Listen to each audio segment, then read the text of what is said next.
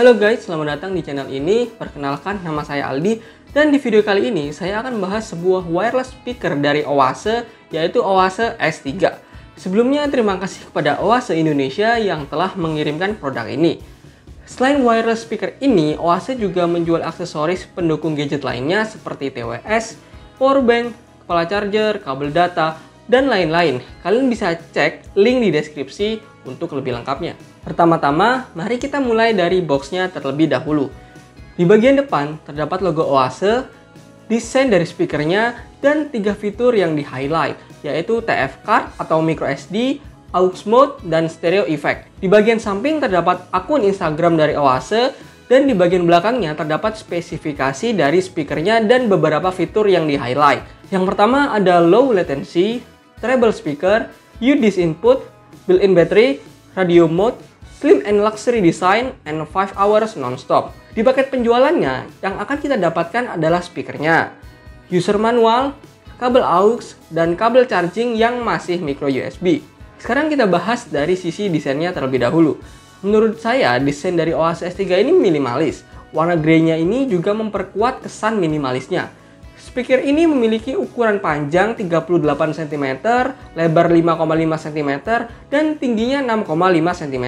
Dengan ukuran seperti ini, menurut saya akan cocok untuk ditempatkan di meja kerja, meja belajar, untuk memperindah setup meja kalian. Di bagian depan terdapat logo Oase yang menurut saya ukurannya sudah pas. Di bagian atas terdapat 4 tombol, yaitu tombol mode, plus dan minus volume, dan tombol play and pause. Di bagian belakang terdapat switch on off speakernya, lubang aux, slot micro SD, slot USB, dan charging port.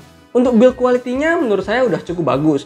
Bobotnya cukup terasa sehingga memberikan kesan solid. Finishing warna grey-nya ini juga tidak glossy sehingga tidak mudah meninggalkan bekas sidik jari. Untuk spesifikasinya, Oase S3 ini menggunakan dual speaker dengan output power masing-masing 5 watt, baterai 1200 mAh, Bluetooth 5, dan high-res stereo effect.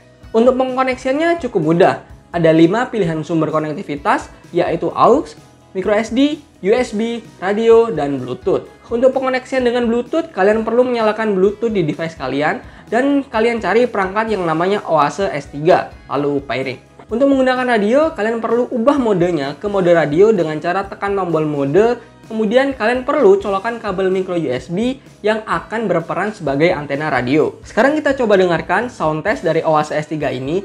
Saya sarankan kalian menggunakan headset atau earphone agar hasil suaranya lebih jelas.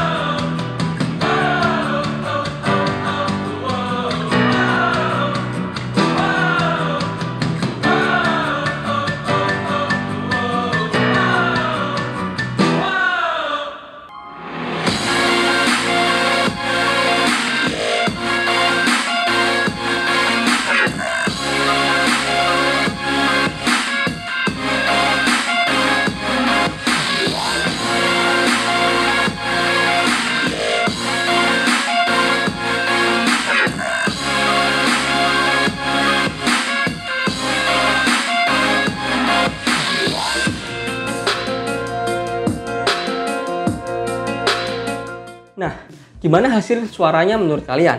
Kalau menurut saya, karakter suara low-nya ini cukup moderat. Sedangkan untuk suara mid dan high-nya cukup bertenaga.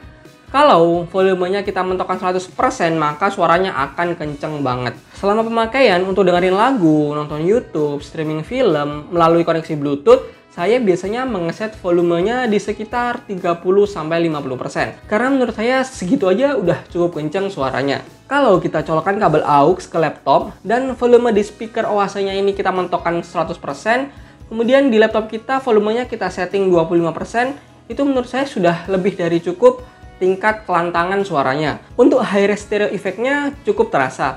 Perpindahan suara dari kanan ke kiri terdengar cukup jelas. Untuk koneksi Bluetooth 5-nya stabil, tidak ada delay yang terasa ketika kita mendengarkan lagu, nonton YouTube, ataupun streaming film. Oase S3 ini juga memiliki mic, sehingga ketika HP kita terkoneksi dengan Oase S3 ini dan ada panggilan masuk, kita bisa langsung menjawab panggilan tersebut dengan tekan satu kali di tombol play and pause. Tekan dan tahan untuk mereject panggilan tersebut Tekan satu kali lagi ketika kita ingin mengakhiri panggilan. Untuk daya tahan baterai 1200 mAh-nya cukup baik.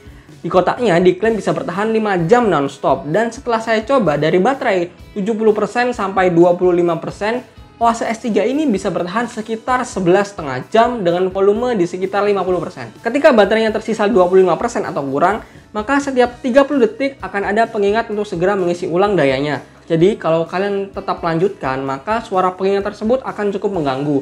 Sehingga lebih baik kita cas saja si Oase S3 ini. Untuk Oase, mungkin ke depannya port micro USB ini bisa digantikan dengan USB Type-C karena di 2020 ini sepertinya sudah banyak sekali gadget-gadget smartphone terbaru TWS yang sudah menggunakan USB Type-C. Kalau ini sudah menggunakan USB Type-C, tentu aja akan lebih baik lagi. Well, kesimpulannya dengan desain yang minimalis, ukuran yang tidak terlalu besar, dual speaker yang support stereo dengan output suara yang bisa sekencang itu, kemudian Bluetooth 5, daya tahan baterai yang cukup awet, dan harganya 299.000. Menurut saya Bluetooth speaker Oase S3 ini sangat bisa kalian pertimbangkan.